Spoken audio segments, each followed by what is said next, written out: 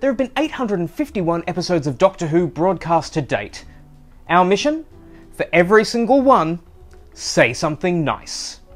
Hello, dear viewers, and welcome back to another week of Say Something Nice. We're jumping 14 years into the future for The Leisure Hive Part 4. Now, I'd like to point out that one of you out there on one of the season 18 episodes I've already covered, maybe a Meglos episode or possibly Full Circle, pointed out that JNT's vision for the show wasn't necessarily what pushed viewers away, and I realise I did imply that. I didn't mean to imply that, but Doctor Who suddenly had much stronger competition in the form of Buck Rogers in the UK, which was part of the reason for diminished ratings in season 18.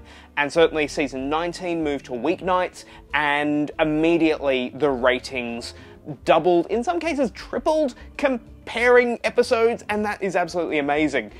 But the start of the JNT era has such style and panache in the Leisure Hive.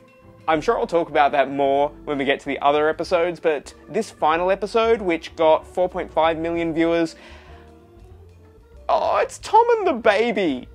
At the end, Tom Baker is holding a baby, and it's just an adorable, adorable moment. Lalla Ward has spoken in interviews about how good Tom was with children. And Romana's reaction to the doctor holding the baby, you know, Romana, who's usually so aloof and so above it all, she just has this little smile, this little smirk about watching the doctor holding baby Pangol. And then, just as engrossed as the doctor has been, he passes off Pangol to Hardin by saying, Here, have a baby.